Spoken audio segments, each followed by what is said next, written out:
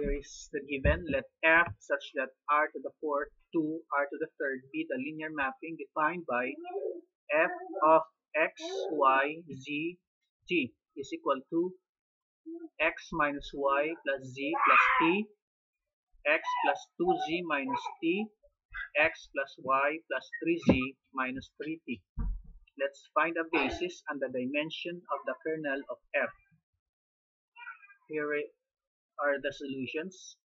The linear transformation is here presented with the matrix with entries 1, negative 1, 1, 1, 1, 0, 2, negative 1, 1, 1, 3, negative 3, which are the numerical coefficients of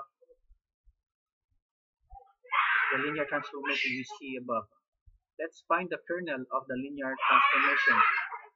We have f of the vectors c sub 1, c sub 2, c sub 3, c sub 4 is equal to the matrix c sub 1 minus c sub 2 plus c sub 3 plus c sub 4, c sub 1 plus 2 c sub 3 minus c sub 4 and last c sub 1 plus c sub 2 plus 3 c sub 3 minus 3 c sub 4. The first step is to set up a homogeneous system of equations. The kernel of f is the set of all vectors c sub 1, c sub 2, c sub 3, c sub 4, and r to the fourth such that f of the vector c sub 1, c sub 2, c sub 3, c sub 4 is equal to 0 sub r to the fourth.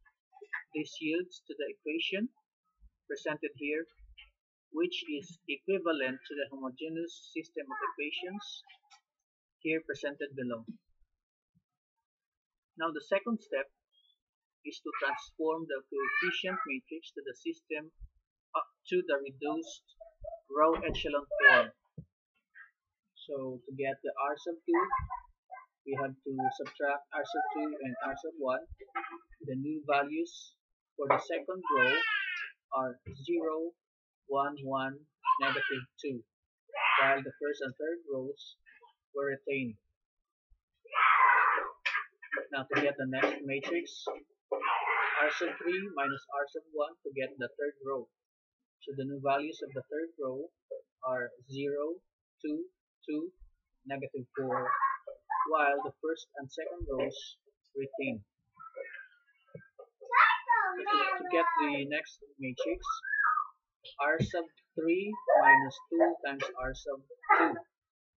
So the third values at the third row has new values four zeros.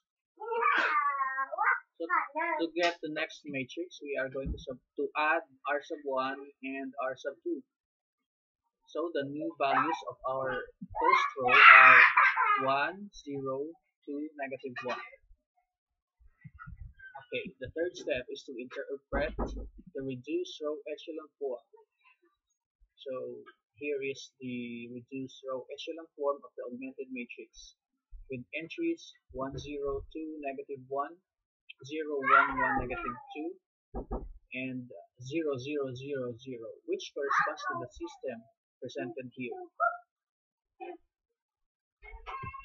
So the leading entries in the matrix have been highlighted, 1 and 1.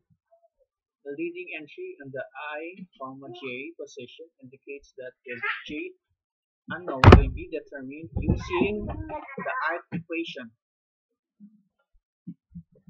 The columns in the coefficient part of the matrix that do not contain leading entries correspond to unknowns that will be arbitrary.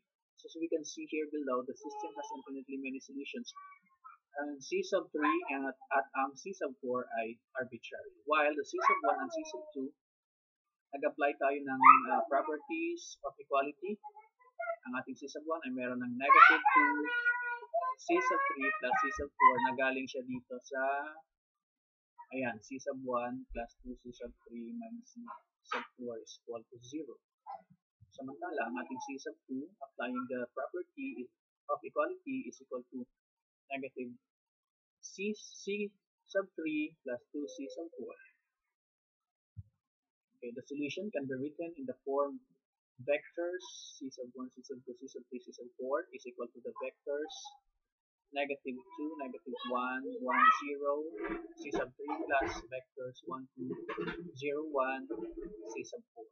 So yung negative 2, negative 1 ay galing yan dito sa, ayan, dito sa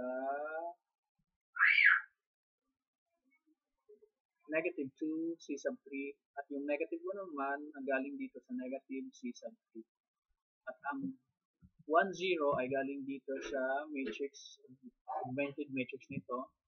Itong first column, 1, 0. Samantala, yung kasunod na vectors na 1, 2, 0, 1 ay nakuha naman sa ayan, sa negative, uh, positive, rather, C sub 4 at saka positive 2C sub 4. At ang 0, 1 naman ay nakuha natin sa second column ng augmented matrix na ito na 0 at saka 1.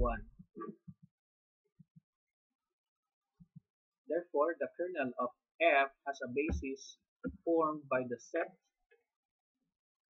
okay, vectors negative 2, negative 1, 1, 0, and vectors 1, 2, 0, 1. Let's note that the nullity of F is 2. The dimension of the kernel of F. And next, F is not a one-to-one -one transformation since kernel of F is not equal to the set of 0 sub r to the 4th. That's all.